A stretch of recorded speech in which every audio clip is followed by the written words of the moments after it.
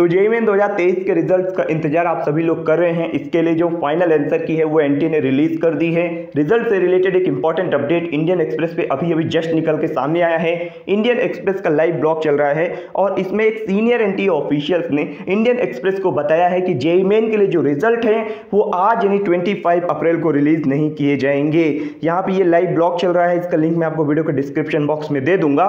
इसमें clear cut mention किया गया है कि सीनियर एनटी ऑफिशियल्स ने इंडियन एक्सप्रेस को बताया है कि जेई मेन के लिए जो रिज़ल्ट है, वो आज यानी 25 अप्रैल को रिलीज़ ना होके 26 अप्रैल यानी कल रिलीज़ किए जाएँगे। और अगर रिज़ल्ट टाइमिंग की बात करें कि कितने टाइम रिलीज़ होगा तो ये अभी फाइनलाइज नहीं किया गया है। ऐसा सीनियर एंटी ऑफिशियल्स ने इंडियन एक्सप्रेस को बताया है। बहुत इंपॉर्टेंट अपडेट है ये। आज आपके रिज़ल्ट नहीं आ रहे हैं।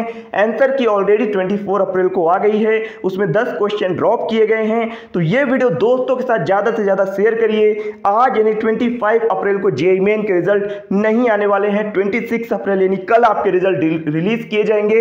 ऐसा सीनियर एंटी ऑफिशियल्स ने इंडियन एक्सप्रेस को बताया है और ये एकदम ऑफिशियल अपडेट है। तो जे मेन के लिए रिज़ल्ट आज नहीं आ रहे। दोस्तों के साथ वीडियो को ज़्यादा से ज़्यादा शेयर करिए। जो बच्चे चैनल पर नहीं हुए ज़रूर सब्सक्राइब कर ले हमें, क्योंकि हमारे चैनल पर एक एक पल की अपडेट आपको मिलेगी और जैसे ही रिज़ल्ट आएगा, सबसे पहले हम आपको अपने चैनल पर अपडेट करेंगे। तो सब्सक्राइब करके नोटिफिकेशन बिल को ऑन कर लीजिए।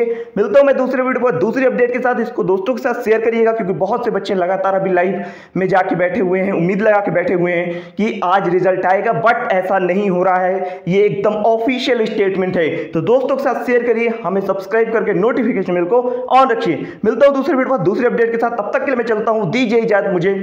जय हिंद।